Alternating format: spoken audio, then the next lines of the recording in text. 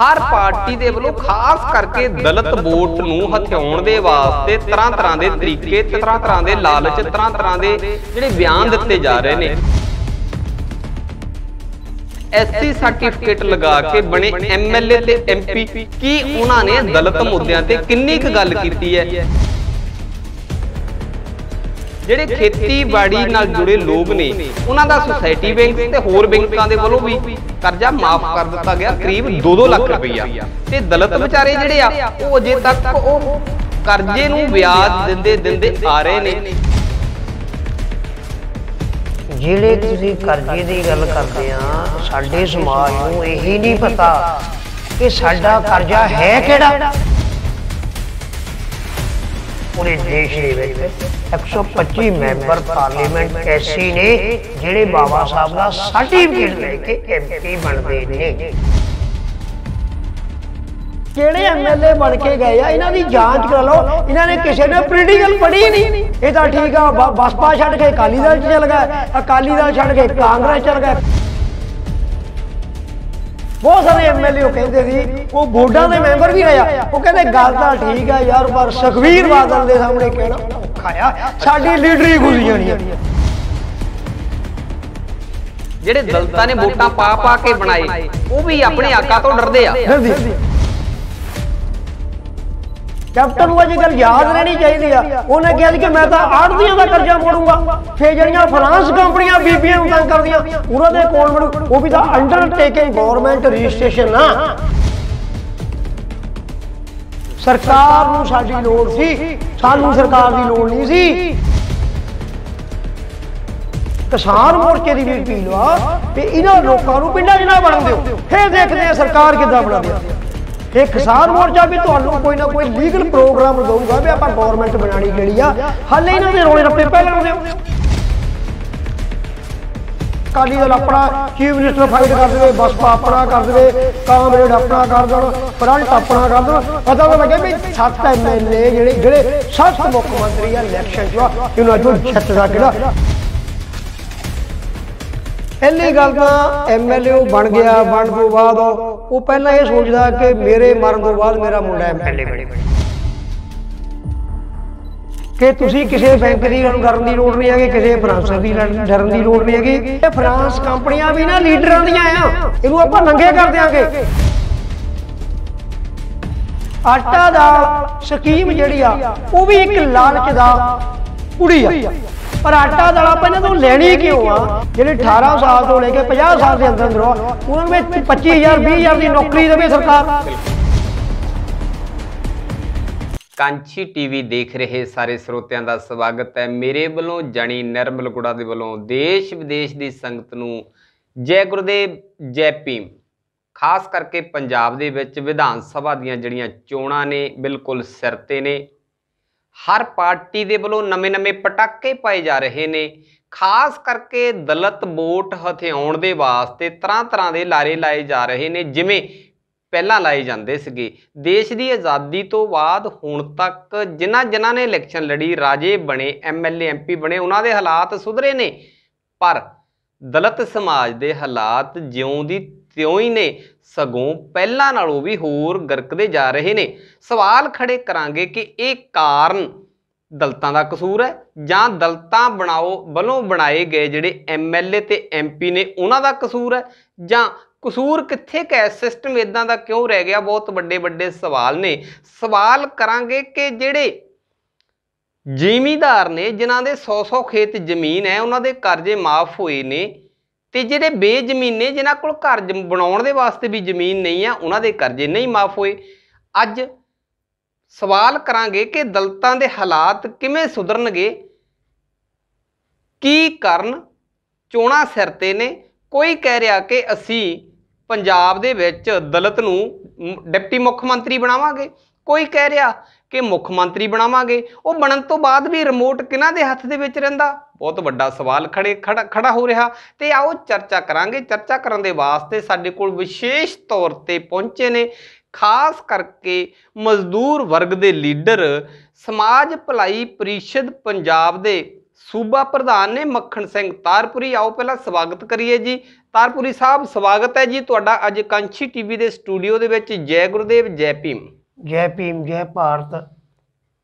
ਵਾਹਿਗੁਰੂ ਜੀ ਕਾ ਖਾਲਸਾ ਵਾਹਿਗੁਰੂ ਜੀ ਕੀ ਫਤਿਹ। ਸਮੁੱਚੀ ਕੌਮ ਨੂੰ ਸਮੁੱਚੇ ਸਮਾਜ ਨੂੰ ਮੇਰੇ ਵੱਲੋਂ ਅੱਜ ਕਾਂਛੀ ਟੀਵੀ ਦੀ ਸਾਰੀ ਟੀਮ ਨੂੰ ਬਹੁਤ ਬਹੁਤ ਮੈਂ ਉਹਨਾਂ ਦਾ ਧੰਨਵਾਦੀਆਂ ਜਿਹੜੀਆਂ ਕਿ ਉਹਨਾਂ ਦੀ ਬਦੌਲਤ ਅਸੀਂ ਪੰਜਾਬ ਦੇ ਨਹੀਂ ਬਲਕਿ ਲੱਖਾਂ ਹੀ ਲੋਕਾਂ ਦੇ ਜਿਹੜੇ ਆ ਉਹ ਦਰਸ਼ਨ ਵੀ ਕਰ ਲੈਂਦੇ ਆ ਤੇ ਆਪਣੀ ਜਿਹੜੀ ਦਿਲ ਦੀ ਗੱਲ ਆ ਸਮਾਜ ਪ੍ਰਤੀ ਜਿਹੜੀ ਆ ਉਹਨੂੰ ਕਾਂਛੀ ਟੀਵੀ ਬੜੇ ਤਰੀਕੇ ਨਾਲ ਸਾਡੀ ਉਭਾਰ ਰਿਹਾ ਮੈਂ ਬੋਲ ਰਹੀ ਹਾਂ, ਜੈ ਗੁਰਦੇਵ, ਧੰਨਵਾਦ। ਤਾਰਪੁਰੀ ਸਾਹਿਬ, ਆਪਾਂ ਗੱਲ ਸ਼ੁਰੂ ਕਰਦੇ ਹਾਂ, ਜਿਵੇਂ ਚੋਣਾਂ ਬਿਲਕੁਲ ਸਿਰ ਤੇ ਨੇ 2022 ਦੇ ਸ਼ੁਰੂਆਤੀ ਦੌਰ ਦੇ ਵਿੱਚ, ਪਹਿਲੇ ਮਹੀਨਿਆਂ ਦੇ ਵਿੱਚ ਹੀ ਪੰਜਾਬ ਵਿਧਾਨ ਸਭਾ ਦੀਆਂ ਚੋਣਾਂ ਹੋ ਜਾਣੀਆਂ ਨੇ। ਹਰ ਪਾਰਟੀ ਦੇ ਵੱਲੋਂ ਖਾਸ ਕਰਕੇ ਦਲਿਤ ਵੋਟ ਨੂੰ ਹਥਿਆਉਣ ਦੇ ਵਾਸਤੇ ਤਰ੍ਹਾਂ ਤਰ੍ਹਾਂ ਦੇ ਤਰੀਕੇ ਤੇ ਤਰ੍ਹਾਂ ਤਰ੍ਹਾਂ ਦੇ ਲਾਲਚ, ਤਰ੍ਹਾਂ ਤਰ੍ਹਾਂ ਦੇ ਜਿਹੜੇ ਬਿਆਨ ਦਿੱਤੇ ਜਾ ਰਹੇ ਨੇ। ਕੋਈ ਕਹਿ ਰਿਹਾ ਕਿ ਡਿਪਟੀ ਮੁੱਖ ਮੰਤਰੀ ਬਣਾਵਾਂਗੇ ਕਿਸੇ ਇੱਕ ਧਿਰ ਨੇ ਕਹਿ ਦਿੱਤਾ ਕਿ ਪੰਜਾਬ ਦੇ ਵਿੱਚ ਮੁੱਖ ਮੰਤਰੀ ਦਲਿਤ ਬਣਾਵਾਂਗੇ। ਪਰ ਦਲਿਤਾਂ ਦਾ ਮੁੱਖ ਮੰਤਰੀ ਬਣ ਜਾਣਾ, ਡਿਪਟੀ ਮੁੱਖ ਮੰਤਰੀ ਬਣ ਜਾਣਾ ਕੋਈ ਬਹੁਤ ਵੱਡੀ ਗੱਲ ਨਹੀਂ ਹੈ। ਕਿਉਂਕਿ ਡਿਪਟੀ ਮੁੱਖ ਮੰਤਰੀ ਸੰਵਿਧਾਨਕ ਉਹਦਾ ਨਹੀਂ ਹੈ। ਤੇ ਜੇ ਮੁੱਖ ਮੰਤਰੀ ਵੀ ਬਣਾ ਲੈਂਦੇ ਰਿਮੋਟ ਕਿਹਨਾਂ ਦੇ ਹੱਥ ਵਿੱਚ ਹੈ? ਸਵਾਲ ਇਹ ਹੈ ਕਿ ਲੋਕਾਂ ਨੂੰ ਜਾਗਰਤ, ਖਾਸ ਕਰਕੇ ਦਲਿਤ ਵਰਗ ਨੂੰ ਜਿੱਥੇ ਜਾਗਰਕ ਹੋਣ ਦੀ ਲੋੜ ਹੈ, ਉੱਥੇ ਹੀ ਹਲਕਾ ਫੁਲਕਾ ਜਿਹਾ ਪਿੱਛੇ ਜਿਹੜੀ ਕਾਰਗੁਜ਼ਾਰੀ ਰਹੀ ਹੈ, ਜਿਹੜੇ ਦਲਿਤ ਐਸਸੀ ਸਰਟੀਫਿਕੇਟ ਲਗਾ ਕੇ ਬਣੇ ਐਮਐਲਏ ਤੇ ਐਮਪੀ ਜਿਹੜੇ ਹੁਣ ਤੱਕ 34 ਐਮਐਲਏ ਤੇ 3 ਐਮਪੀ ਵੀ ਰਹੇ ਨੇ, ਕਿ ਉਹਨਾਂ ਨੇ ਦਲਿਤ ਮੁੱਦਿਆਂ ਤੇ ਕਿੰਨੀ ਕੁ ਗੱਲ ਕੀਤੀ ਹੈ? ਖਾਸ ਕਰਕੇ ਜੇ ਗੱਲ ਕਰੀਏ ਜਦੋਂ ਪ੍ਰਕਾਸ਼ ਸਿੰਘ ਬਾਦਲ ਦੀ ਸਰਕਾਰ ਸੀ, ਉਦੋਂ ਵੀ ਬਹੁਤਾ ਲਾਹਾ ਜਿਹੜਾ ਆ, ਉਹ ਅਸੀਂ ਵਿਰੋਧੀ ਨਹੀਂ ਹੈ ਕਿ ਜਿਹੜੇ ਜ਼ਮੀਨਾਂ ਵਾਲੇ ਆ, ਉਹਨਾਂ ਨੂੰ ਲਾਹਾ ਨਹੀਂ ਦੇਣਾ ਚਾਹੀਦਾ। ਉਹਨਾਂ ਦਾ ਬਣਦਾ ਹੱਕ, ਅਧਿਕਾਰ, ਉਹਨਾਂ ਨੂੰ ਮਿਲਣਾ ਚਾਹੀਦਾ। ਪਰ ਸਵਾਲ ਇਹ ਵੀ ਹੈ ਕਿ ਦਲਤਾਂ ਦਾ ਜਿਹੜਾ ਹੱਕ, ਅਧਿਕਾਰ, ਉਹਨਾਂ ਨੂੰ ਕਿਉਂ ਨਹੀਂ ਮਿਲਦਾ? ਸਾਡਾ ਸਵਾਲ ਤੇ ਇਹ ਹੈ, ਉਹਨਾਂ ਨੇ ਜਿਹੜੀ ਟਿਊਬਲਾਂ ਦੀ ਬੱਤੀ ਮਾਫ ਕੀਤੀ। ਕਿਸੇ ਦੇ ਹਜ਼ਾਰ ਵੀ ਮੋਟਰ ਹੈ 500 ਮੋਟਰ ਹੈ, ਸਾਰਿਆਂ ਦੀ ਮਾਫ ਹੈ। ਤੇ ਦਲਤਾਂ ਦੇ ਉੱਤੇ ਇੱਕ ਸਵਾਲ ਰੱਖ ਦਿੱਤਾ ਕਿ ਜਿਹੜਾ 1 ਕਿਲੋਵਾਟ ਤੋਂ ਘੱਟ ਹੈ, ਸਿਰਫ ਉਹਦਾ 1 ਕਿਲੋਵਾਟ ਤੋਂ ਵੱਧ ਹੈ ਤੇ ਉਹਦਾ ਬਿੱਲ ਅੱਜ ਵੀ ਆਂਦਾ ਪਿਆ। ਹੁਣ ਜੇ ਗੱਲ ਕਰੀਏ, ਖਾਸ ਕਰਕੇ ਜਿਹੜੇ ਐਗਰੀਕਲਚਰਲ ਜਿਹੜੇ ਖੇਤੀਬਾੜੀ ਨਾਲ ਜੁੜੇ ਲੋਕ ਨੇ, ਉਹਨਾਂ ਦਾ ਸੁਸਾਇਟੀ ਬੈਂਕਸ ਤੇ ਹੋਰ ਬੈਂਕਾਂ ਦੇ ਵੱਲੋਂ ਵੀ ਕਰਜ਼ਾ ਮਾਫ ਕਰ ਦਿੱਤਾ ਗਿਆ, ਕਰੀਬ 2-2 ਲੱਖ ਰੁਪਈਆ। ਤੇ ਦਲਿਤ ਵਿਚਾਰੇ ਜਿਹੜੇ ਆ, ਉਹ ਅਜੇ ਤੱਕ ਉਹ ਕਰਜ਼ੇ ਨੂੰ ਵਿਆਜ ਦਿੰਦੇ ਦਿੰਦੇ ਆ ਰਹੇ ਨੇ ਤੇ ਬੈਂਕਾਂ ਵਾਲੇ ਹੁਣ ਕਹਿ ਦਿੱਤਾ ਵੀ ਤੁਸੀਂ ਘਰਾਂ ਦੇ ਵਿੱਚ ਤੁਸੀਂ ਸਾਡਾ ਵਿਆਜ ਵਿਆਜ ਸਮੇਤ ਕਰਜ਼ਾ ਜਮ੍ਹਾਂ ਕਰਾਓ ਨਹੀਂ ਤਾਂ ਉਹ ਪੁਲਿਸ ਲੈ ਕੇ ਵੀ ਗੇੜੇ ਮਾਰਦੀ ਆ। ਕੀ ਕਹਿਣਾ ਚਾਹੋਗੇ ਤੁਸੀਂ ਸਰਕਾਰ ਦੀ ਨੀਅਤ ਤੇ ਖਾਸ ਕਰਕੇ ਦਲਿਤਾਂ ਦੇ ਹਾਲਾਤ ਤੇ? ਦੇਖੋ ਗੱਲ ਇਹ ਆ ਘਰ ਦੇ ਭਾਗ ਜਿਹੜੇ ਉਹ ਬਨੇਰੇ ਤੋਂ ਪਤਾ ਲੱਗ ਜਾਂਦਾ। ਹੂੰ। 2015 ਦੇ ਵਿੱਚ ਸਮਾਜ ਭਲਾਈ ਪ੍ਰੀਸ਼ਦ ਹੋਣ ਦੇ ਵਿੱਚ ਆਇਆ। ਜਿਹੜੇ ਕਿ ਤੁਸੀਂ ਕਰਜ਼ੇ ਦੀ ਗੱਲ ਕਰਦੇ ਆ ਸਾਡੇ ਸਮਾਜ ਨੂੰ ਇਹੀ ਨਹੀਂ ਪਤਾ ਕਿ ਸਾਡਾ ਕਰਜ਼ਾ ਹੈ ਕਿਹੜਾ। ਹੂੰ। ਕਿਸਾਨਾਂ ਨੂੰ ਪਤਾ ਕਿਸਾਨਾਂ ਦਾ ਜੰਮਦਾ ਬੱਚਾ 10 ਸਾਲ ਦਾ ਪਤਾ ਵੀ ਅਸੀਂ ਕਰਜ਼ਾ ਲੈਣ ਚੱਲੇ ਬੈਂਕ ਐਗਰੀਕਲਚਰ। ਤੇ ਸਾਡੇ ਨੂੰ ਇਹੀ ਨਹੀਂ ਪਤਾ ਕਰਜ਼ਾ ਲੈਣਾ ਕਿਹੜਾ ਹੈ। ਇਸ। ਕਰਕੇ 15 ਮਾਰਚ 2015 ਨੂੰ ਪੰਜਾਬ ਦੇ ਮੁੱਖ ਮੰਤਰੀ ਸਰਦਾਰ ਪ੍ਰਕਾਸ਼ ਸਿੰਘ ਬਾਦਲ ਜੀ ਨੇ ਐਲਾਨ ਕੀਤਾ ਕਿ ਮੈਂ ਕਿਸਾਨਾਂ ਦਾ 2 ਲੱਖ ਰੁਪਏ ਦਾ ਕਰਜ਼ਾ ਮਾਫ ਕਰੂੰਗਾ।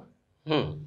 ਚਲੋ ਅਸੀਂ ਵੀ ਸਮਾਜ ਦੀ ਗੱਲ ਕਰਦੇ ਹਾਂ। ਸਮਾਜ ਭਲਾਈ ਪ੍ਰੀਸ਼ਦ ਜਿਹੜਾ ਸਭ ਤੋਂ ਪਹਿਲਾਂ ਪੂਰੇ ਦੇਸ਼ ਦੇ ਵਿੱਚ ਇੱਕੋ ਹੀ ਸੰਗਠਨ ਸੀਗਾ ਜਿਹਦੇ ਵਿੱਚ ਹਰ ਤਰ੍ਹਾਂ ਦੇ ਬੰਦੇ ਕੰਮ ਕਰਦੇ ਸੀ। ਸਮਾਜ ਭਲਾਈ ਪ੍ਰੀਸ਼ਦ ਐਂਡ ਵੈਲਫੇਅਰ ਸੰਗਠਨ ਪੰਜਾਬ।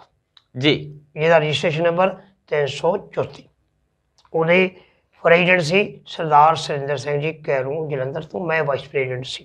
ਹੂੰ। ਉਦੋਂ ਬਾਅਦ ਦੇ ਵਿੱਚ ਹਾਲਾਤ ਬਦਲੇ ਪੜਿਆ ਜਦੋਂ ਆ ਗਿਆ ਤੇ ਜਿਹੜਾ ਸਾਡਾ ਸਮਾਜ ਸੀ ਉਹਨਾਂ ਦੇ ਦਿਮਾਗ ਦੇ ਵਿੱਚ ਕੋਈ ਗੱਲ ਆਈ ਕੋਈ ਨਹੀਂ ਉਹਦਾ ਮੇਰੇ ਚਲੋ ਕਰਲ ਕੱਲੀ ਗੱਲ ਚੱਲੀ ਵੀ ਯਾਰ ਕੀ ਹੋਊਗਾ? ਤੇ ਮੈਂ ਕਿਹਾ ਯਾਰ ਆਪਣੇ 125 ਮੈਂਬਰ ਆਫ ਪਾਰਲੀਮੈਂਟ ਨੇ। ਪੂਰੇ ਦੇਸ਼ ਦੇ ਵਿੱਚ 125 ਮੈਂਬਰ ਪਾਰਲੀਮੈਂਟ ਐਸੀ ਨੇ ਜਿਹੜੇ ਬਾਬਾ ਸਾਹਿਬ ਦਾ ਸਰਟੀਫਿਕੇਟ ਲੈ ਕੇ ਐਮਪੀ ਬਣਦੇ ਨੇ।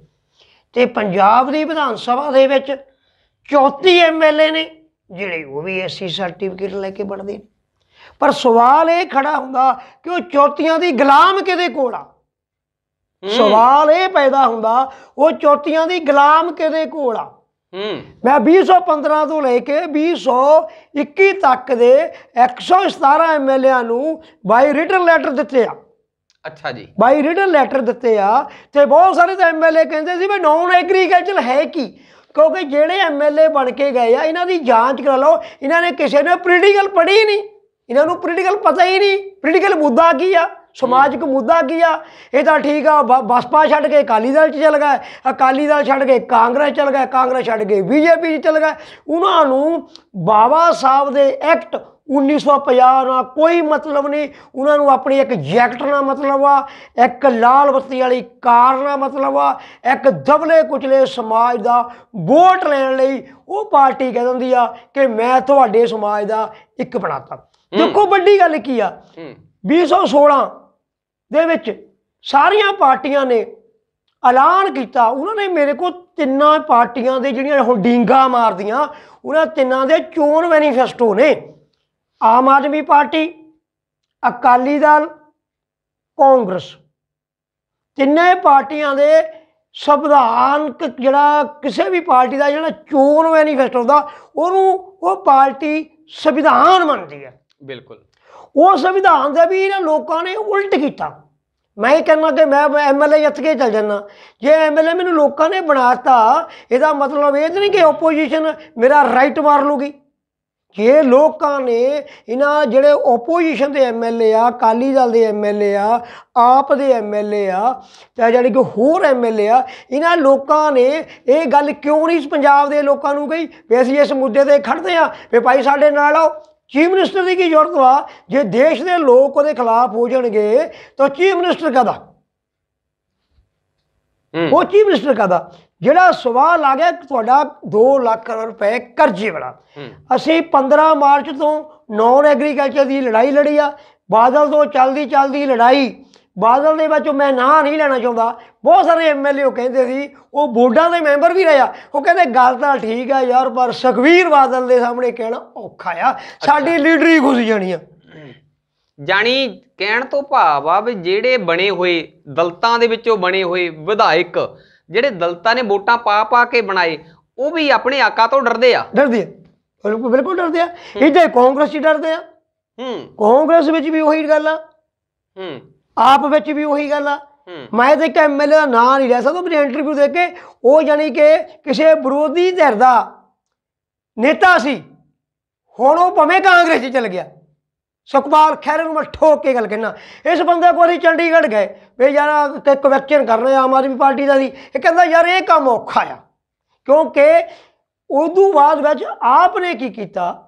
ਜਿੱਥੇ ਬੰਦਾ ਕੋ ਵਧੀਆ ਉਹਦੀ ਗੱਲ ਕਰਨੀ ਵੀ ਚਾਹੀਦੀ ਆ ਇਹਨੇ ਨਹੀਂ ਸਵਾਲ ਕੀਤਾ ਇਹ ਮਾਮਲਾ ਫੇ ਉੱਭਰਿਆ ਤਾਂ ਇਹ ਤੋਂ ਬਾਅਦ ਇਹਨੂੰ ਇਸ ਕਰਕੇ ਇਹਨੂੰ ਜਿਹੜਾ ਆ ਪੰਜਾਬ ਦੀ ਵਿਰੋਧੀ ਧਿਰ ਚੋਂ ਤਾਂ ਹਟਾਇਆ ਗਿਆ ਸੀ ਕਿ ਇਹਨੇ ਨੌਨ ਐਗਰੀਕਲਚਰ ਕੁਐਸਚਨ ਕਰਨ ਤੋਂ ਮੁੱਕਰ ਗਿਆ ਸੀ। ਫਿਰ ਉਹ ਕੁਐਸਚਨ ਜਿਹੜਾ ਆ ਉਹ ਮਤਲਬ ਉਹਨੇ ਜਿਹੜਾ ਐਡਵੋਕੇਟ ਆ ਚੀਮਾ ਚੀਮੇ ਨੇ ਕੀਤਾ ਸੀ ਸਾਡਾ ਸਵਾਲ। ਹੂੰ। ਇਸ ਕਰਕੇ ਮੈਂ ਕਿਹਾ ਬਹੁਤ ਗਿਣਤੀ ਜਿਹੜੀ ਆ ਪੰਜਾਬ ਦੇ ਵਿੱਚ ਸਟੂਲ ਕਾਸਟਾਂ ਦੀ ਆ ਐਸਸੀ ਦੀ ਆ ਬੀਸੀ ਦੀ ਆ ਓਬੀਸੀ ਦੀ ਮਿਨੋਰਟੀਜ਼ ਦੀ ਆ। ਪਰ ਜਿਹੜਾ ਨਾਨ ਐਗਰੀਕਲਚਰ ਦੇ ਵਿੱਚ ਕੋਈ ਕਾਸਟ ਨਹੀਂ। ਨਾਨ ਐਗਰੀਕਲਚਰ ਦਾ ਮਤਲਬ ਆ ਉਹ ਚਾਹੇ ਉਹ ਦੁਕਾਨਦਾਰ ਵਾ ਚਾਹੇ ਉਹ ਰੇੜੀ ਲਵਾ ਚਾਹੇ ਕੋਈ ਬੀਬੀ ਮਤਲਬ ਪਸ਼ੂ ਰੱਖ ਕੇ ਲਿਆ ਬਾਦਲ ਨੇ ਕਿਹਾ ਕੈਪਟਨ ਨੇ ਕਿਹਾ ਕੈਪਟਨ ਨੂੰ ਇਹ ਗੱਲ ਯਾਦ ਰਹਿਣੀ ਚਾਹੀਦੀ ਆ ਉਹਨੇ ਕਿਹਾ ਸੀ ਕਿ ਮੈਂ ਤਾਂ ਆੜਤੀਆਂ ਦਾ ਕਰਜ਼ਾ ਮੋੜੂੰਗਾ ਠੀਕ ਹੈ ਜੇ ਆੜਤੀਆਂ ਦਾ ਕਰਜ਼ਾ ਮੋੜ ਸਕਦਾ ਆ ਪੰਜਾਬ ਦੀ ਸਰਕਾਰ ਫੇ ਜਿਹੜੀਆਂ ਫਾਈਨਾਂਸ ਕੰਪਨੀਆਂ ਬੀਬੀਆਂ ਨੂੰ ਤੰਗ ਕਰਦੀਆਂ ਉਹਨਾਂ ਦੇ ਕੌਣ ਬਣੂ ਉਹ ਵੀ ਤਾਂ ਅੰਡਰਟੇਕਿੰਗ ਗਵਰਨਮੈਂਟ ਰਜਿਸਟ੍ਰੇਸ਼ਨ ਨਾ ਹੂੰ।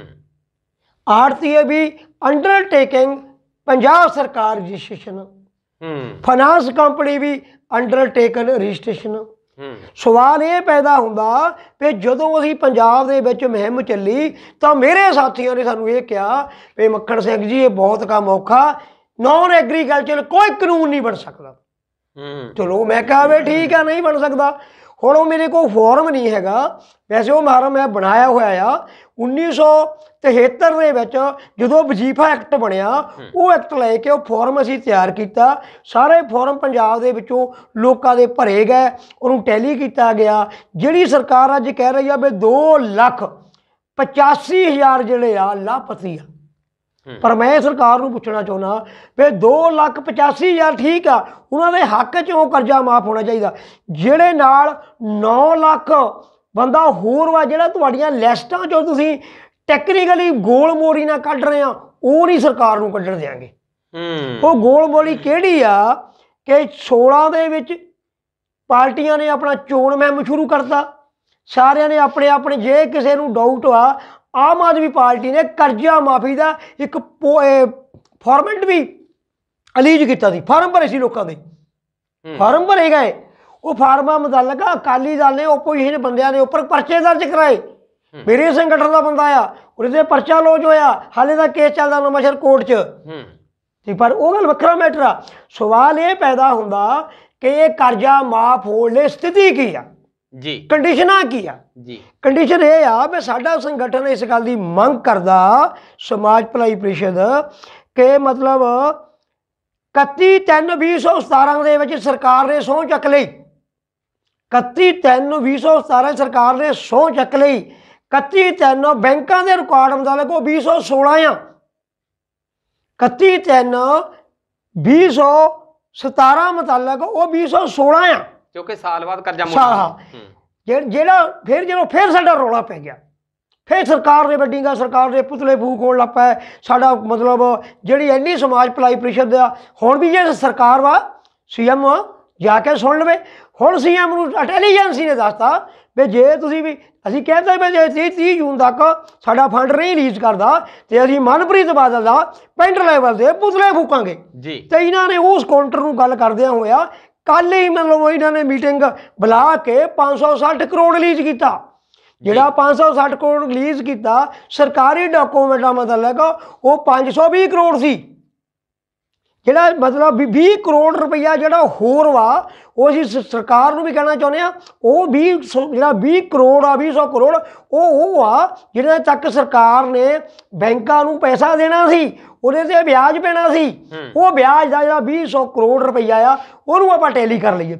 ਪਰ ਸਵਾਲ ਇਹ ਪੈਦਾ ਹੁੰਦਾ ਜਜ ਗੁੜਾ ਜੀ ਮੈਂ ਮੈਨੂੰ ਬੜਾ ਦੁੱਖ ਹੁੰਦਾ ਸਮਾਜ ਤੇ ਵੀ ਜਿਹੜੇ ਸਾਡੇ ਸਮਾਜ ਦੇ ਲੋਕ ਕਿਸੇ ਵੀ ਧਰੇ ਨਾਲ ਖੜੇ ਆ ਪਰ ਉਹਨਾਂ ਨੇ ਕਿਹਾ ਕਿ ਜੇ ਕਰਜ਼ਾ ਮੁਕਤੀ ਦੀ ਗੱਲ ਆਊਗੀ ਚਾਹੇ ਮੈਂ ਕਾਂਗਰਸੀ ਆ ਚਾਹੇ ਮੈਂ ਅਕਾਲੀ ਦਲ ਆ ਚਾਹੇ ਕਾਮਰੇਡ ਆ ਮੱਕੜ ਸਿੰਘ ਜੀ ਇਸ ਮਸਲੇ ਤੇ ਨਾਲ ਸਾਡਾ ਉਹ ਖੜਦੇ ਆ। ਉਹਨਾਂ ਨੂੰ ਸਾਡੇ ਸੰਗਠਨ ਨੇ ਕਦੀ ਨਹੀਂ ਕਿਹਾ ਵੀ ਤੁਸੀਂ ਵੋਟ ਰਾਈਟ ਕਿੱਥੇ ਕਰਨਾ। ਉਹਨਾਂ ਦਾ ਆਪਣਾ ਜਮਹੂਰੀ ਹੱਕ ਆ। ਪਰ ਇਹ ਮਸਲੇ ਦੇ ਵਿੱਚ ਅਸੀਂ ਚਾਹੁੰਦੇ ਆ ਕਿ 6 3 2019 ਨੂੰ ਨੋਟੀਫਿਕੇਸ਼ਨ ਹੋਇਆ। ਜੀ। 6 3 2019 ਦੀਆਂ ਲਿਸਟਾਂ ਲਈਆਂ ਜਾਣ ਲਈਆਂ ਜਾਣ। ਜੇ ਸਰਕਾਰ ਨੇ 15 ਜੁਲਾਈ ਤੱਕ 6 3 2019 ਦੀਆਂ ਲਿਸਟਾਂ ਨਾ ਲਈਆਂ ਤਾਂ ਫਿਰ ਅਸੀਂ ਇਹਨਾਂ ਨੇ ਫਿਰ ਇਹ ਮੈਂ ਸਮਾਜ ਨੂੰ ਕਹਿੰਦਾ ਵੀ ਚੋਰਾਂ ਤੋਂ ਬਚ ਜਾਓ, ਇਹਨੇ ਹੁਣ ਕਹਿਣਾ ਵੀ ਇੰਨੇ ਕਰੋੜ ਰਿਲੀਜ਼ ਕਰਦਾ ਪਰ ਇਹ ਸਾਨੂੰ ਜਿੰਨੇ ਤੱਕ ਬੈਂਕ ਕਲੀਨ ਚੈਟ ਨਹੀਂ ਦਿੰਦੀ ਵੀ ਤੇਰਾ ਭਾਈ ਆ ਕਰਜ਼ਾ ਮਾਫ ਹੋ ਗਿਆ ਆ ਤੇਰਾ ਨਵਾਂ ਹੱਦ ਕਰਜ਼ਾ ਬਣਾਤਾ, ਅਸੀਂ ਉਨੇ ਤੱਕ ਉਹ ਕਰਜ਼ੇ ਨੂੰ ਮਾਫੀ ਨਹੀਂ ਸਮਝਦੇ। ਇਹ ਤਾਰਪੁਰੀ ਸਾਹਿਬ ਨਾਲ ਇੱਥੇ ਇਹ ਵੀ ਗੱਲ ਜੁੜਦੀ ਆ ਕਿ ਜਿਵੇਂ 6/3/19 ਨੂੰ ਨੋਟੀਫਿਕੇਸ਼ਨ ਜਿਹੜਾ ਇਹਨਾਂ ਨੇ ਕੀਤਾ ਕਿ ਦਲਤਾਂ ਦੇ ਜਿਹੜੇ ਲੋਨ ਹੈ, ਕਰਜ਼ੇ ਜਿਹੜੇ ਆ, ਉਹ ਨੌਨ ਐਗਰੀਕਲਚਰ ਜਿਹੜੇ ਬੇਜ਼ਮੀਨੇ ਨੇ, ਖਾਸ ਕਰਕੇ ਉਹ ਮਾਫ ਕਰ ਦਿੱਤੇ ਗਏ ਨੇ। ਪਰ ਸਵਾਲ ਇਹ ਵੀ ਨਾਲ ਖੜਦਾ ਕਿ ਹਰ ਸਾਲ ਸਾਲ ਨਹੀਂ ਸਾਲ ਦੇ ਵਿੱਚ ਤਾਂ ਦੋ ਵਾਰੀ ਇਹ ਵਿਆਜ ਵੀ ਦਿੰਦਾ ਆ ਹੁਣ ਤੱਕ ਦਲਿਤ। ਤੇ ਉਹ ਕਰਜ਼ਾ ਜਿਹੜਾ ਸੀਗਾ 2019 ਤੋਂ ਲੈ ਕੇ 2022 ਤੱਕ 21 ਤੱਕ ਜੇ ਲਾ ਲਈਏ ਤਾਂ ਉਹ ਬਾਰ-ਬਾਰ ਉਸ ਕਰਜ਼ੇ ਨੂੰ ਜਿਹੜਾ ਕਰਜ਼ਾ ਮਾਫ ਹੋਇਆ ਆ ਉਸ ਕਰਜ਼ੇ ਨੂੰ 5-6 ਵਾਰ ਤਾਂ ਉਹਦਾ ਵਿਆਜ ਵੀ ਦੇ ਦਿੱਤਾ। ਤੁਸੀਂ ਉਹਦਾ ਕੀ ਦੱਸਦਾ। ਚਾਹੋਗੇ? ਆ ਆਪਣੇ ਕੋਲ ਲੈਟਰ ਹੈਗਾ। ਜੀ। ਇਹ ਪੰਜਾਬ ਕੋਆਪਰੇਟ ਬੈਂਕ ਦਾ ਆ ਜਿਹੜੀਆਂ ਕੇਂਦਰੀ ਬੈਂਕਾਂ ਆ। ਉਹਨਾਂ ਦਾ ਜਿਹੜਾ ਮੈਨੇਜਰ ਹੈਗਾ ਓਪੀ ਸਿੰਘ ਉਹਨੇ ਵਿਸ਼ੇ ਸਪਸ਼ਟ ਲਿਖਿਆ ਇਹ ਜੀਆਰ ਆ। ਇਹ ਜਿਹੜੀ ਮੈਂ ਇਹ ਗੱਲ ਪੁੱਛਣੀ ਚਾਹੁੰਦਾ ਸਰਕਾਰ ਨੂੰ ਵੀ ਜਿਹੜਾ ਤੁਸੀਂ ਕਹਿੰਦੇ ਵੀ ਪੈਸਾ ਮਾਫ ਕੀਤਾ ਨੋਨ ਐਗਰੀਕਲਚਰ ਦਾ। ਸਵਾਲ ਇਹ ਪੈਦਾ ਹੁੰਦਾ ਜਿਹੜੀਆਂ ਬੈਂਕਾਂ ਨੇ ਸਾਡੇ ਮਜ਼ਦੂਰਾਂ ਤੋਂ ਵਿਆਜ ਲਿਆ ਆ ਜੇ ਉਹਨਾਂ ਨੇ ਲੀਗਲ ਤੋਂ ਬਾਅਦ ਨਾ ਮੋੜਿਆ ਉਹ ਬੈਂਕਾਂ ਦੇ ਸੈਕਟਰੀਆਂ ਨੂੰ ਵੀ ਨਹੀਂ ਛੱਡਾਂਗੇ ਅਸੀਂ। ਉਹਨਾਂ ਦੇ ਖਿਲਾਫ ਵੀ ਮੋਰਚਾ ਲਾਵਾਂਗੇ। ਜੋ ਸਾਡਾ ਵੱਧ ਵਿਆਜ ਬਣਾਉਂਦੇ ਆ। ਅਸੀਂ ਨਹੀਂ ਕਿਹਾ ਸਰਕਾਰ ਨੂੰ ਅਸੀਂ ਮਿਹਨਤ ਨਹੀਂ ਕੀਤੀ ਸਰਕਾਰ ਦੀ ਸਾਡਾ ਕਰਜ਼ਾ ਮਾਫ ਕਰ। ਸਰਕਾਰ ਨੂੰ ਸਾਡੀ ਲੋੜ ਸੀ। ਸਾਨੂੰ ਸਰਕਾਰ ਦੀ ਲੋੜ ਨਹੀਂ ਸੀ। ਤੁਸੀਂ ਸਮਝਦੇ ਹੋ ਵੀ ਸਾਨੂੰ ਕਿਉਂ ਲੋੜ ਨਹੀਂ? ਬਿਲਕੁਲ ਪਹਿਲਾਂ ਵੀ ਉਹਨਾਂ ਨੇ ਸਰਕਾਰ ਨੂੰ ਲੋੜ ਵੋਟਾਂ ਸੀ। ਸਰਕਾਰ ਨੇ ਕਿਹਾ ਕਿ ਮੈਂ ਗਵਰਨਮੈਂਟ ਬਣਾਣੀ ਆ। ਉਹ ਗਵਰਨਮੈਂਟ ਲਈ ਸਾਡੇ ਲੋਕ ਕਹਿੰਦੇ ਬਈ ਅਸੀਂ ਕਿਹਾ ਪਾਓ ਵੋਟ। ਲੋਕਾਂ ਨੇ ਵੋਟ ਪੀ- ਪੋਲ ਕੀਤੀ ਪਰ ਮੈਂ ਰੌਲਾ ਇਹ ਆ ਜਦੋਂ 117 ਹੀ ਐਮਐਲਏ ਬਣ ਗਏ ਅੱਜ ਤੁਸੀਂ ਮੈਂ ਸਵਾਲ ਕਰਦਾ ਮਤਲਬ ਕਾਂਚੀ ਟੀਵੀ ਦੇ ਸਾਰੀ ਸਰਕਾਰ ਦੀ ਏਜੰਸੀ ਨੂੰ ਵੀ ਜੇ 117 ਐਮਐਲਏ ਨੂੰ ਅੱਜੇ ਤੁਸੀਂ ਚੰਡੀਗੜ੍ਹ ਸੱਦ ਲਓ ਇਹਨਾਂ ਨੂੰ ਕਹ ਵੀ ਤੁਹਾਡੀ ਤਨਖਾਹ ਜਿਹੜੀ ਆ ਉਹ 4 ਲੱਖ ਹੋਣੀ ਆ ਤਾਂ ਮੈਂ ਕਹਿੰਦਾ ਉੱਥੇ ਕੋਈ ਵਿਰੋਧੀ ਨਹੀਂ ਕੋਈ ਕੋਈ ਨਹੀਂ ਤੇ ਇਹਨਾਂ ਨੇ ਕਹਣਾ ਫਟਾਫਟ ਸਾਈਨ ਕਰਕੇ ਗਵਰਨਰ ਸਾਹਿਬ ਦੇ ਠੱਪਾ ਲੱਗ ਜਾਣ। ਹੂੰ। ਤੇ ਲੇਕਿਨ ਜਦੋਂ ਸਕੂਲ ਕਾਸਟਾਂ ਦੀ ਗੱਲ ਆਈ ਨਾ ਤਾਂ ਬਾਦਲ ਨੇ ਕੁਐਸਚਨ ਕੀਤਾ ਵਿਧਾਨ ਸਭਾ 'ਚ ਨਾ ਕੀਤਾ ਆਪ ਵਾਲਿਆਂ ਨੇ ਨਾ ਕੀਤਾ ਬੈਂਸ ਭਰਾਵਾਂ ਨੇ। ਕਹਿਣ ਦਾ ਨਾ ਕੀਤਾ ਕਾਂਗਰਸ ਦੇ ਨੇ।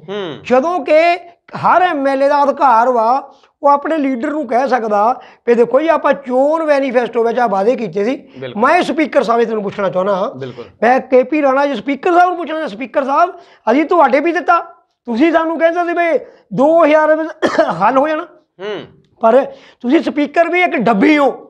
ਤੁਸੀਂ ਤੁਹਾਡੀ ਸਪੀਕਰ ਇੱਕ ਡੱਬੀ ਹੋ ਤੁਹਾਡੇ ਕੋਲ ਵੀ ਦਿੱਲੀ ਤੋਂ ਪਰਮਾਨ ਹੋਣਾ। ਹੁਣ ਤੁਸੀਂ ਤਾਂ 520 ਕਰੋੜ ਰਿਲੀਜ਼ ਕੀਤਾ ਜਦੋਂ ਅਸੀਂ ਜਿਹੜੀ ਇੱਕ ਟੋਰੈਂਟ ਕਾਪੀ ਤੁਹਾਡੀ ਨੈਸ਼ਨਲ ਪ੍ਰੈਜ਼ੀਡੈਂਟ ਸੋਨੀਆ ਗਾਂਧੀ ਨੂੰ ਭੇਜੀ ਫਿਰ ਅਸੀਂ ਕਿਹਾ ਵੀ 18 ਨੌਕਾਤੀ ਪ੍ਰੋਗਰਾਮ ਨਹੀਂ ਲਾਗੂ ਕਰਦੇ।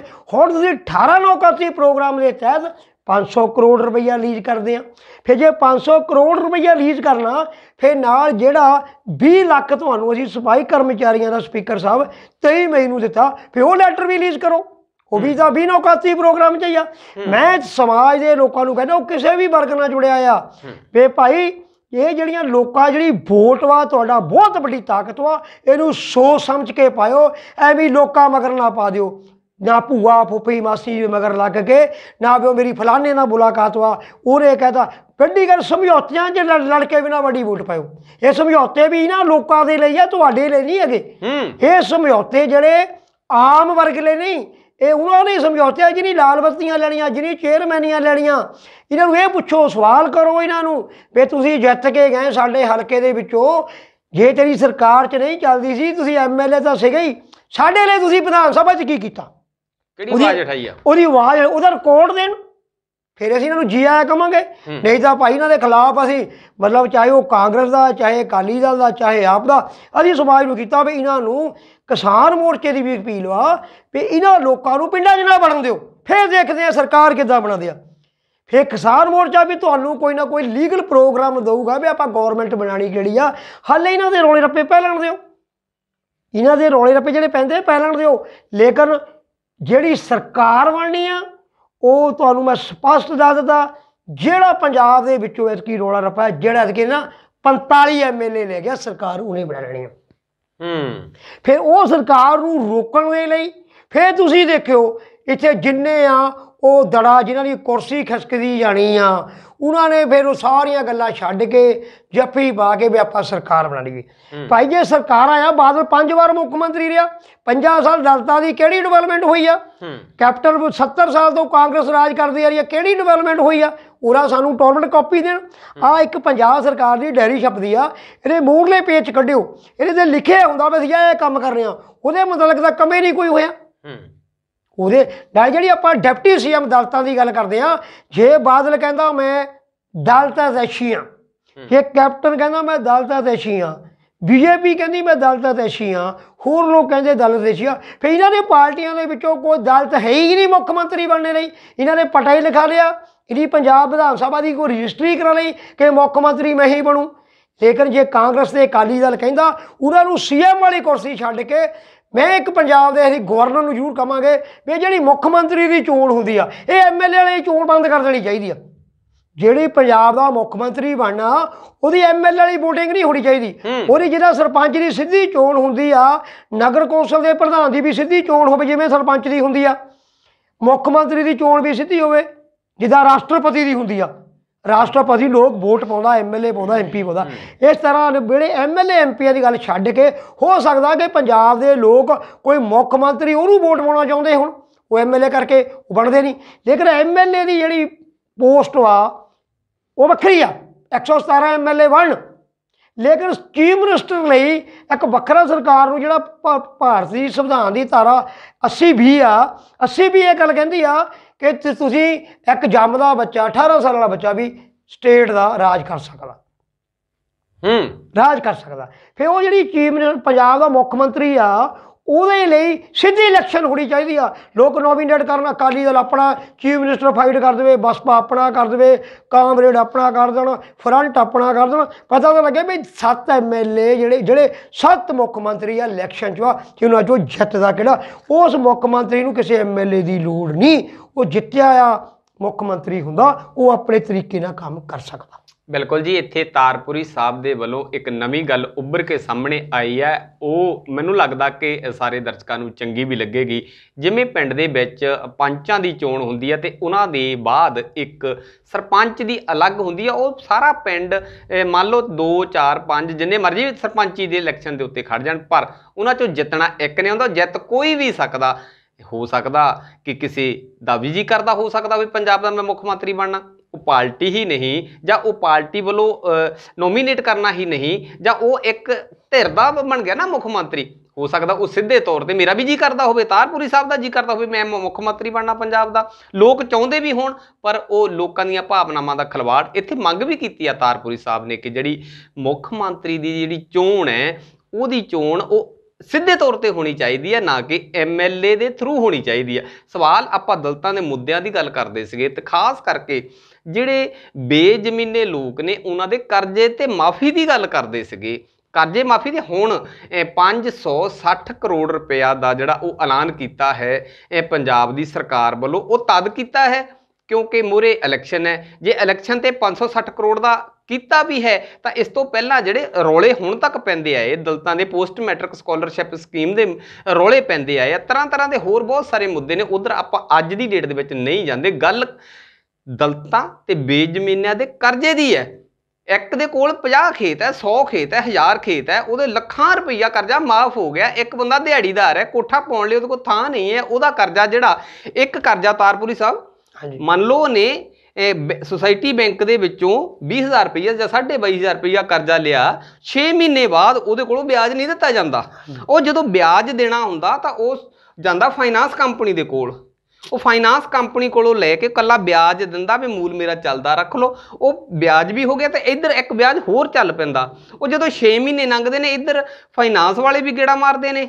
ਤੇ ਉਹ ਸੁਸਾਇਟੀ ਵਾਲੇ ਵੀ ਗੇੜਾ ਮਾਰਦੇ ਨੇ। ਇਦਾਂ ਹੀ ਕਈ ਕਈ ਫਾਈਨਾਂਸ ਕੰਪਨੀਆਂ ਤੋਂ ਇੱਕ ਬੰਦਾ ਉਹ ਕਰਜ਼ਈ ਤੇ ਡਿਫਾਲਟਰ ਵੀ ਹੋ ਜਾਂਦਾ। ਪਰ ਸਵਾਲ ਇਹ ਕਿ ਜਿਹੜਾ ਵਾਅਦਾ ਚੋਣਾਂ ਵੇਲੇ ਹਰੇਕ ਪਾਰਟੀ ਕਰਦੀ ਹੈ ਕਿ ਅਸੀਂ ਦਲਿਤ ਜਾਂ ਬੇਜ਼ਮੀਨ ਲੋਕਾਂ ਦਾ ਸੁਧਾਰ ਕਰਨਾ, ਉਹ ਸੁਧਾਰ ਕਿੱਥੇ ਆ? ਸ਼ਹੀਦ ਭਗਤ ਸਿੰਘ ਦੇ ਜੱਦੀ ਪਿੰਡ ਖਟਕੜ ਕਲਾਂ ਵਿਖੇ ਉਹਨਾਂ ਦੇ ਸ਼ਹੀਦੀ ਦਿਨ ਤੇ ਸਾਰੀਆਂ ਪਾਰਟੀਆਂ ਦੇ ਇਹ ਮੁਖੀ ਆਉਂਦੇ ਤੇ ਉੱਥੇ ਵਾਅਦੇ ਕਰਦੇ ਨੇ, ਅਸੀਂ ਦਲਤਾਂ ਦੇ ਮੁੱਦੇ ਚੱਕਣੇ। ਬਾਬਾ ਸਾਹਿਬ ਭੀਮਰਾਓ ਡਾਕਟਰ ਅੰਬੇਡਕਰ ਜੀ ਦੇ ਜਨਮ ਦਿਨ ਤੇ ਪ੍ਰੀ ਨਿਰਵਾਣ ਦਿਵਸ ਤੇ ਉਦੋਂ ਵੀ ਵੱਡੇ ਵੱਡੇ ਸਮਾਗਮਾਂ ਦੇ ਵਿੱਚ ਇਹ ਵਾਅਦੇ ਕਰਦੇ ਕਿ ਅਸੀਂ ਦਲਤਾਂ ਦਾ ਸੁਧਾਰ ਕਰਨਾ। ਕਰਨਾ ਸਿਰਫ ਕਾਗਜ਼ਾਂ ਵਿੱਚ ਜਾਂ ਸੁਪਨੇ ਦੇ ਵਿੱਚ, ਕਾਗਜ਼ਾਂ ਵਿੱਚ ਵੀ ਨਹੀਂ ਹੋ ਸਕਿਆ।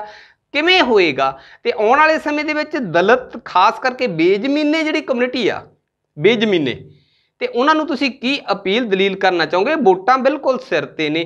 ਪਹਿਲਾਂ ਜੋ ਵਾਅਦੇ ਕੀਤੇ ਸੀ, ਉਹਦੇ ਲਈ ਆਏ ਲੀਡਰ ਦੇ ਨਾਲ ਹਿਸਾਬ ਕਿਤਾਬ ਕਰ ਲੈਣ। ਸਭ ਤੋਂ ਪਹਿਲ ਦੇ ਆਧਾਰ ਤੇ ਖਾਸ ਕਰਕੇ ਜਿਹੜੇ ਐਸਸੀ ਸਰਟੀਫਿਕੇਟ ਲਗਾ ਕੇ ਬਣੇ ਹੋਏ ਐਮਐਲਏ ਨੇ ਮੌਜੂਦਾ, ਵੀ ਉਹਨਾਂ ਨੇ ਕਿੰਨੀ ਆਵਾਜ਼ ਉਠਾਈ ਆ, ਕੀ ਕਹਿਣਾ ਚਾਹੋਗੇ?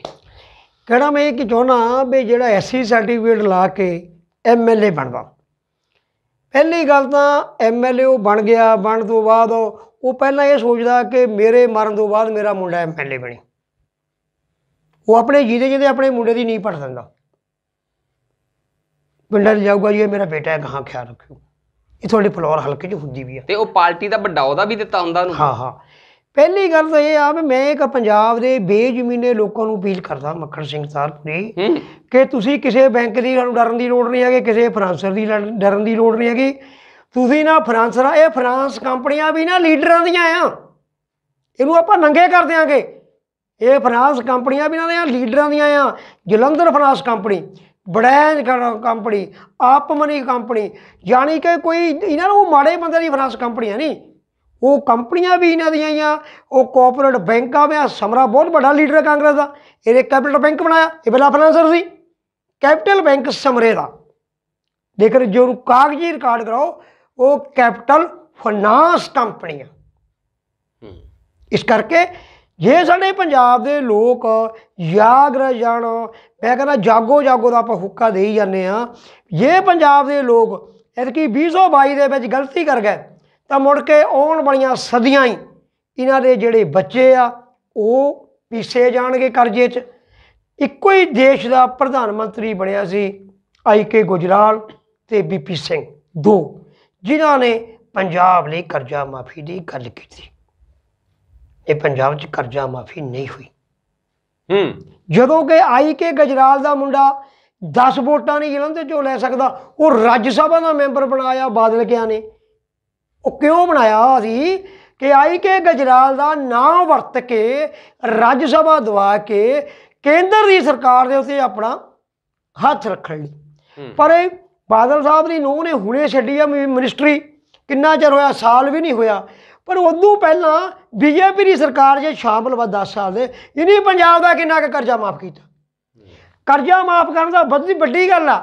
ਮੈਂ ਅੱਜ ਕਾਂਚੀ ਟੀਵੀ ਦੇ ਮਾਧਿਅਮ ਤੋਂ ਮੰਗ ਕਰਦਾ ਵੀ ਜਿਹੜੇ 129 ਐਮਐਲਏ ਆ ਇਹਨਾਂ ਦੇ ਸਾਰੀਆਂ ਪੈਨਸ਼ਨਾਂ ਨੂੰ ਸੁਪਰੀਮ ਕੋਰਟ ਨੂੰ ਕੱਟ ਮਾਰ ਦੇਣਾ ਚਾਹੀਦਾ। ਜਿੰਨੇ ਚਿਰ ਕੋ ਬੰਦਾ ਐਮਐਲਏ ਆ ਉਹ ਆਪਣੀ ਤਨਖਾਹ ਲਵੇ। ਜਿੰਨੇ ਤੱਕ ਉਹ ਬੰਦਾ ਐਕਸਐਮਐਲਏ ਨਹੀਂ ਬਣਦਾ ਉਹਨੂੰ ਪੈਨਸ਼ਨ ਨਹੀਂ ਮਿਲਣੀ ਚਾਹੀਦੀ ਹੂੰ। ਜਿੰਨੇ ਤੱਕ ਉਹ ਬੰਦਾ ਐਕਸੇ ਨਹੀਂ ਹੁੰਦਾ ਤਾਂ ਉਹਨੂੰ ਪੈਨਸ਼ਨ ਕਾਹਦੀ? ਹੂੰ। ਵੀ ਜੇ ਨਹੀਂ ਇਦਾਂ ਕਰਨੀ ਆ ਮੈਂ ਕਹਿੰਦਾ ਵੀ 29 ਐਮਐਲਏਆਂ ਦੀਆਂ 129 ਐਮਐਲਏ ਪੈਨਸ਼ਨਾਂ ਬੰਦ ਕਰ ਦੋਗੇ ਉਹਦੇ ਵੱਟੇ 'ਚ ਜਿਹੜੀ ਸਰਕਾਰ ਦਾ ਪੈਸਾ ਐਮਐਲਏ ਨੂੰ ਜਾਂਦਾ ਉਹਦੇ ਵੱਟੇ 'ਚ ਪੰਜਾਬ ਦਾ 10 ਲੱਖ ਨੌਜਵਾਨ ਯੂਥ ਨੂੰ ਮੈਂ ਅਪੀਲ ਕਰਦਾ ਵੀ ਤੁਸੀਂ ਇਹਨਾਂ ਨੇ ਨਾ, ਆਪਾਂ ਇਲੈਕਟ੍ਰੀਸ਼ੀਅਨ ਮੀਡੀਆ ਤੇ ਗੱਲ ਕਰਦੇ ਆ ਵੀ ਇਹਨਾਂ ਨੇ ਐਤਕੀ ਇੰਡੀਪੈਂਡੈਂਟ ਸਰਕਾਰ ਬਣਾ ਦਿਓ ਪੰਜਾਬ ਦੀ ਇੰਡੀਪੈਂਡੈਂਟ ਸਰਕਾਰ ਬਣਾ ਦਿਓ ਤੇ ਜਿਹੜਾ ਮਤਲਬ ਇਹਨਾਂ ਦੀਆਂ ਪੈਨਸ਼ਨਾਂ ਕੱਟ ਕੇ, ਉਹ ਮਤਲਬ ਪੈਨਸ਼ਨਾਂ ਦੇ ਵਿੱਚ ਇੱਕ ਹਲਕੇ ਦੇ ਵਿੱਚ 10-10 ਹਜ਼ਾਰ ਜਿਹੜਾ ਬੰਦਾ 20000 ਦੇ ਬਣ, ਜਿਹੜੀ ਆਪਾਂ ਗੱਲ ਕਰੇ ਕਿ ਆਟਾ ਦਾਲ ਦਾ ਬਹੁਤ ਕੀੜਾ ਚੱਲਿਆ ਇਹਨਾਂ ਦੇ। ਆਟਾ ਦਾਲ ਸਕੀਮ ਜਿਹੜੀ ਆ, ਉਹ ਵੀ ਇੱਕ ਲਾਲਚ ਦਾ ਕੁੜੀ ਆ। ਉਹਦੀ ਬੱਟੇ 'ਚ ਆਟਾ ਦਾਲ ਦੇ ਵਿਰੋਧੀ ਨਹੀਂ ਅਸੀਂ। ਪਰ ਆਟਾ ਦਾਲ ਆਪਾਂ ਇਹਨਾਂ ਤੋਂ ਲੈਣੀ ਕਿਉਂ ਆ? ਜੇ ਇੱਕ ਘਰ ਦੇ ਪੰਜ ਜੀ ਆ ਉਹਨਾਂ ਨੇ ਜੀਆਂ ਨੂੰ ਜਿਹੜੇ 18 ਸਾਲ ਤੋਂ ਲੈ ਕੇ 50 ਸਾਲ ਦੇ ਅੰਦਰ ਅੰਦਰ ਆ ਉਹਨਾਂ ਨੂੰ ਇਹ 25000 20000 ਦੀ ਨੌਕਰੀ ਦੇਵੇ ਸਰਕਾਰ। ਬਿਲਕੁਲ। 20000 ਦੀ ਜਿਸ ਪਰਿਵਾਰ ਦੇ ਵਿੱਚ ਦੋ ਮੁੰਡੇ ਕੁੜੀਆਂ ਬੱਚੇ 40000 ਰੁਪਇਆ ਲੈ ਕੇ ਆਉਂਦਾ ਤੇ ਉਹ 5000 ਦਾ ਰਾਸ਼ਨ ਵੀ ਲੈ ਲਊ। ਇਹ ਕਿਹੜਾ ਸਾਨੂੰ ਰਾਸ਼ਨ ਇਹ ਮੁਫਤ ਦਿੰਦੇ ਆ? ਉਹਦੇ ਪੈਸੇ ਵੀ ਲੈਂਦੇ ਆ ਇਹ 2 ਰੁਪਏ ਕਿਲੋ ਲੈਂਦੇ ਆ ਪਰ ਉਹਦੇ ਨਾਲ ਇੱਕ ਹੋਰ ਹੋਣਾ ਚਾਹੀਦਾ ਜਿਹੜਾ ਆਮ ਮੱਧਕਾਲੀ ਵਰਗ ਆ ਉਹਨਾਂ ਨੂੰ 10 ਜੇ ਸਰਕਾਰ 2 ਰੁਪਏ ਕਿਲੋ ਕਣਕ ਦੇ ਕੇ ਕਹਿੰਦੀ ਘਾਟਾ ਨਹੀਂ ਜੇ ਵੋਟਾਂ ਜਿਹੜੀ ਦੂਜਿਆਂ ਬੰਦਿਆਂ ਨੇ ਵੀ ਪਾਈਆਂ ਹੋਣੀਆਂ ਉਹਨਾਂ ਨੂੰ 10 ਰੁਪਏ ਕਿਲੋ ਵਾਲਾ ਕਾਨੂੰਨ ਬਣਾ ਦਿਓ ਫੇ ਭਾਈ ਪੰਜ ਇੱਕ ਪਰਿਵਾਰ ਨੂੰ ਪੰਜ ਬੋਰੀਆਂ ਮਿਲਣੀਆਂ ਉਹ ਸਾਲ ਬਾਅਦ ਆਪਣੀ ਪੰਜਾਂ ਬੋਰੀਆਂ ਦਾ ਆੜਤੀ ਸਰਪੰਚ ਤੋਂ ਮੋਹਰ ਲਵਾਵੇ ਆੜਤੀ ਨੂੰ ਦੇ ਦੇਵੇ ਪੰਜ ਬੋਰੀਆਂ ਦੇ ਪੈਸੇ ਦੇ ਕੇ ਕਣਕ ਲੈ ਆਵੇ। ਹੂੰ। ਇਦਾਂ ਵੀ ਹੋਣੀ ਚਾਹੀਦੀ ਹੈ। ਉਹ ਵੀ ਐਕਟ ਹੂੰ। ਕੇਰਲਾ ਚ ਇਦਾਂ ਮਹਾਰਾਸ਼ਟਰ ਚ ਇਦਾਂ ਹੈਗੇ ਆ ਪਰ ਸਟੇਟ ਚ ਨਹੀਂ। ਸਾਡੀ ਸਟੇਟ 'ਚ ਹੈ ਨਹੀਂ। ਪਰ ਇੱਕ ਮੇਰਾ ਵੱਡਾ ਅੱਜ ਇਹੀ ਆ ਵੀ ਅਸੀਂ ਕੋਈ ਝੂਠ ਨਹੀਂ ਬੋਲਦੇ। ਸਾਡੇ ਕੋਈ ਇਹਨਾਂ ਦਾ ਸਾਰੇ ਹੀ ਲੈਟਰ ਨੇ। ਇਹਨਾਂ ਨੇ ਲਿਖਿਆ ਵੀ ਪੰਜ ਸੂਰੀ ਇਹ ਵਿਆਜ ਜਿਹੜਾ ਸਾਡੇ ਤੇ ਵਧਿਆ ਇਹਦੀ ਜ਼ਿੰਮੇਵਾਰੀ ਪੰਜਾਬ ਸਰਕਾਰ ਦੀ ਆ। ਇਹ ਉਹਨੇ ਲਿਖਿਆ ਆ ਵੀ ਸਰਕਾਰ ਸਾਨੂੰ ਫੰਡ ਰਿਲੀਜ਼ ਕਰ ਦੇਵੇ ਅਸੀਂ ਇਹ ਸਕੀਮ 'ਚ ਲੈ ਆਵਾਂਗੇ। ਜੇ ਹੁਣ ਵੀ 560 ਕਰੋੜ ਦੇ ਵਿੱਚੋਂ ਜਿਹੜਾ ਬੰਦਾ ਨਾ ਲਿਸਟ ਵਿੱਚ ਆਇਆ ਉਹਨੂੰ ਫੇਰ ਵਾ। ਫਿਰ ਜੇ ਅਸੀਂ ਗੱਲ ਪੱਕੀ ਅੱਜ ਇਹ ਗੱਲ ਕਰਦੇ ਆ ਕੰਚੀ ਰਾਮ ਦੇ ਟੀਵੀ ਤੋਂ ਬਾਬਾ ਸਾਹਿਬ ਦੀ ਸੋਚ ਨੂੰ ਵੀ ਇਹਨੂੰ ਕਰਜ਼ੇ ਤੋਂ ਮੁਕਤ ਕਰਾਉਣ ਲਈ ਦਲਿਤ ਸਮਾਜ ਦੀ 85% ਲੋਕਾਂ ਨੂੰ ਕਰਜ਼ਾ ਮੁਕਤ ਕਰਾਉਣ ਲਈ ਸਮਾਜ ਭਲਾਈ ਪ੍ਰੀਸ਼ਦ ਲੜਾਈ ਲੜੂਗਾ ਲੜਦਾ ਰਹੂਗਾ। ਇਹਦੇ ਲੱਖਾਂ ਹੀ ਜਿਹੜੀਆਂ ਆ ਤਕਲੀਫਾਂ ਹੋਣੀਆਂ ਲੱਖਾਂ ਨਾਲ ਲੜਾਈਆਂ ਹੁੰਦੀਆਂ। ਲੱਖਾਂ ਹੀ ਖੁਸ਼ ਹੁੰਦੇ ਆ।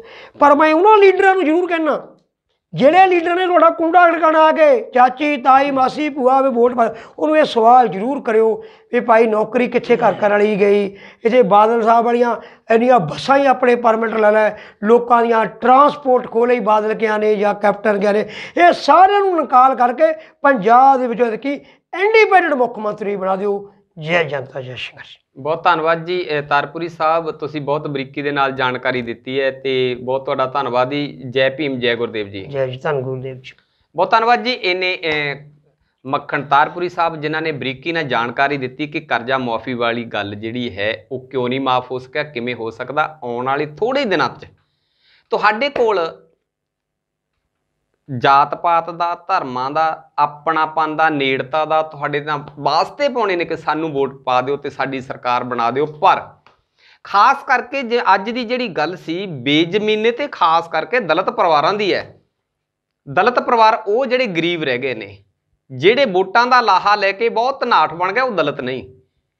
ਗੱਲ ਉਹਨਾਂ ਨਾਲ ਤੁਸੀਂ ਕਰਿਓ, ਘਰ ਉਹਨਾਂ ਨੂੰ ਤੁਸੀਂ ਵਾੜਿਓ ਜਿਨ੍ਹਾਂ ਦੇ ਬੱਚੇ ਤੁਹਾਡੇ ਬੱਚਿਆਂ ਦੇ ਨਾਲ ਪੜ੍ਹਦੇ ਨੇ, ਇੱਕ ਸਕੂਲ 'ਚ ਪੜ੍ਹਦੇ ਨੇ, ਉਹਨਾਂ ਲੀਡਰਾਂ ਨੂੰ ਆਪਣੇ ਘਰ ਵੜਨ ਦਿਓ, ਜਿੱਥੇ ਤੁਸੀਂ ਦਵਾ ਲੈਂਦੇ ਹੋ ਸਰਕਾਰੀ ਹਸਪਤਾਲ 'ਚ, ਜੇ ਉਹ ਵੀ ਆਪਣੇ ਬਾਪੂ ਦੀ ਦਵਾਈ ਉਸ ਸਰਕਾਰੀ ਹਸਪਤਾਲ ਦੇ ਵਿੱਚ ਲੈਣ ਜਾਂਦਾ, ਨਹੀਂ ਤਾਂ ਉਹਨਾਂ ਨੂੰ ਕਹਿ ਦਿਓ, ਤੁਸੀਂ ਭਾਈ ਸਾਡੇ ਨਹੀਂ। ਉਹਨਾਂ ਨਾਲ ਗੱਲ ਕਰਿਓ ਜਿਹੜੇ ਤੁਹਾਡੇ ਹੱਕਾਂ ਅਧਿਕਾਰਾਂ ਦੀ ਗੱਲ ਇੱਥੇ ਵੀ ਕਰਦੇ ਨੇ, ਸੰਸਦ ਦੇ ਵਿੱਚ ਵੀ ਕਰਦੇ ਨੇ, ਜਿਹੜੇ ਤੁਹਾਨੂੰ ਦਿਖਾਲਣ, ਆਹ ਦੇਖੋ ਮੈਂ ਤੁਹਾਡੇ ਹੱਕਾਂ ਲਈ ਲੜ ਕੇ ਇਹ ਅਧਿਕਾਰ ਤੁਹਾਨੂੰ ਮੈਂ ਦਵਾਏ ਨੇ। ਤੇ ਸਿਰਫ ਬਾਬਾ ਸਾਹਿਬ ਦਾ ਵਾਸਤਾ ਪਾਏ ਤੇ ਵੋਟਾਂ ਨਾ ਦਿਓ ਜਾਤ ਪਾਤ ਧਰਮ ਦਾ ਵਾਸਤਾ ਪਾਏ ਤੇ ਵੋਟ ਨਾ ਦਿਓ, ਡੇਰਾਵਾਦ ਦਾ ਵਾਸਤਾ ਪਾਏ ਤੇ ਵੋਟ ਨਾ ਦਿਓ, ਤੁਹਾਡੇ ਨਾਲ ਕਹਿਣਗੇ, ਤੂੰ ਤਾਂ ਮੇਰੇ ਮਾਸੀ ਦਾ ਮੁੰਡਾ, ਚਾਚੀ ਦਾ ਮੁੰਡਾ, ਤਾਈ ਦਾ, ਤੁਹਾਡੇ ਨਿਆਣਿਆਂ ਦੇ ਨਲੀਆਂ ਪੋਚਣ ਆਉਣਗੇ, ਬਿਲਕੁਲ ਉਹਨਾਂ ਨੂੰ ਨਕਾਰ ਕੇ ਕਿਹੋ ਕਿ ਸਾਡੇ ਬਰਾਬਰ, ਸਾਨੂੰ ਆਪਣੇ ਬਰਾਬਰ ਦਾ ਕਰੋ ਤੇ ਆਪਣੇ ਆਪਣੇ ਵਰਗੀ ਐਜੂਕੇਸ਼ਨ ਦਿਓ, ਆਪਣੇ ਵਰਗੀਆਂ ਸਿਹਤ ਸਹੂਲਤਾਂ ਦਿਓ ਤੇ ਸਾਡੇ ਜਿਹੜੇ ਬੱਚੇ ਨੇ ਪੜ੍ਹੇ ਲਿਖੇ, ਉਹਨਾਂ ਲਈ ਜੌਬ ਦਾ ਪ੍ਰਬੰਧ ਤੁਸੀਂ ਕੀ ਕੀਤਾ? ਪਹਿਲਾਂ ਉਹ ਗੱਲ ਕਰੋ, ਅਗਲੀ ਗੱਲ ਬਾਅਦ ਚ ਕਰਾਂਗੇ, ਅਗਲੇ ਗੇੜੇ ਫਿਰ ਵੋਟਾਂ ਦੀ ਗੱਲ ਕਰੇ ਤੇ ਹੋ ਸਕਦਾ ਤਾਂ ਸਾਨੂੰ ਵੀ ਮੌਕੇ ਤੇ ਬੁਲਾ ਲਿਓ। ਆਸ ਕਰਦੇ ਹਾਂ, ਫਿਰ ਤੁਹਾਨੂੰ ਕਰਜ਼ੇ ਮਾਫੀ ਦੇ ਲਈ ਅਰਜ਼ੀਆਂ ਚੱਕੇ ਫਿਰਨਾ ਨਹੀਂ ਪਏਗਾ। ਫਿਰ ਤੁਹਾਨੂੰ ਨੀਲੇ ਕਾਰਡ ਪੀਲੇ ਕਾਰਡਾਂ ਦੇ ਵਾਸਤੇ ਅਰਜ਼ੀਆਂ ਲੈ ਕੇ ਦਫ਼ਤਰਾਂ ਦੇ ਵਿੱਚ ਧੱਕੇ ਖਾਣ ਲਈ ਜਾਣਾ ਨਹੀਂ ਪਊਗਾ। ਆਓ ਸੱਚੀ ਮੁੱਚੀ ਸੁਪਨਾ ਪੂਰਾ ਕਰੀਏ ਸਤਿਗੁਰ ਰਵਿਦਾਸ ਮਹਾਰਾਜ ਜੀ ਦਾ। ਆਓ ਸੱਚੀ ਮੁੱਚੀ ਸੁਪਨਾ ਪੂਰਾ ਕਰੀਏ ਬਾਬਾ ਸਾਹਿਬ ਭੀਮਰਾਓ ਡਾਕਟਰ ਅੰਬੇਡਕਰ ਜੀ ਦਾ। ਤਦ ਬੇਗਮਪੁਰਾ ਵਸੇਗਾ ਬਹੁਤ ਬਹੁਤ ਤੁਹਾਡਾ ਧੰਨਵਾਦ ਜੀ। ਤੁਸੀਂ ਦੇਖਦੇ ਰਹੋ ਕਾਂਚੀ ਟੀਵੀ। ਜੈ ਗੁਰਦੇਵ, ਜੈ ਭੀਮ।